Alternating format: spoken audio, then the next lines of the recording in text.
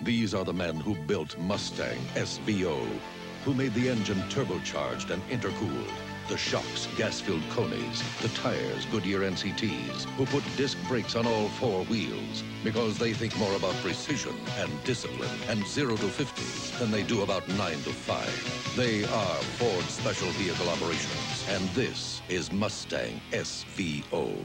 Have you driven the best-built American cars? Have you driven a Ford lately?